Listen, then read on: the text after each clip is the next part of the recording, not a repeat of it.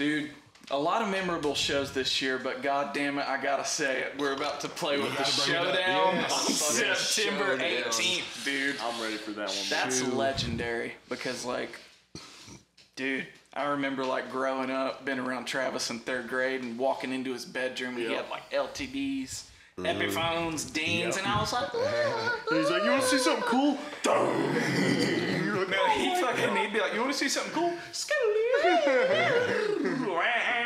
and I would just be like, I used to listen to them a lot, but also we work with some people, and like I know a few other people that like went and seen the showdown forever ago, and they know them from like Dude, a long dude, time that's the thing about this area is like Showdown made such a big impact that kind of like this whole community of the Tri Cities kind of feels connected to Yep. that. Anyone who knew what that was, it's like, and that's what I that's what I love about our scene is that it's very like, it's like family shit. It's like, being in a small town, man. Like, Yeah, mm-hmm. dude, 'cause See old are- George at the barber shop.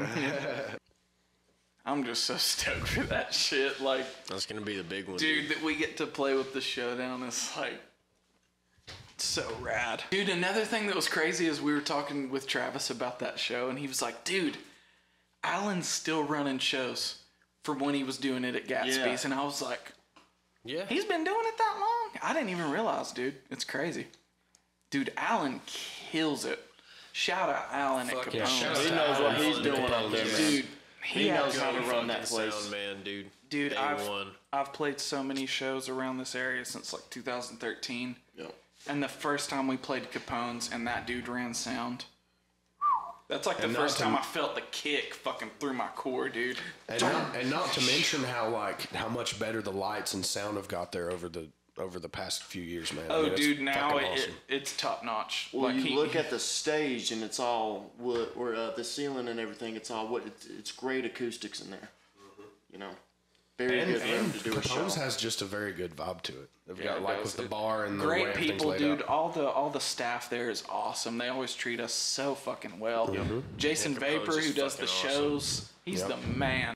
It's ironic though how they did get get back together, and now you guys are playing a show with them. I have a it's question. Is it, is it like David, crazy. Travis, and like all of the wouldn't say that's original ironic. members? It's David Bunton, it's Travis, it's fucking Karushak on bass. Yep. It's the Oh OG my drummer. I can't remember his name, but it's the OG guy. That's so like, awesome. man. Sometimes when bands, like, it's rare to see that. Sometimes when Dude. bands come back together, there's like an original member missing, or Yep. you know, Yeah, yeah, yeah. You know, Yeah, it's crazy.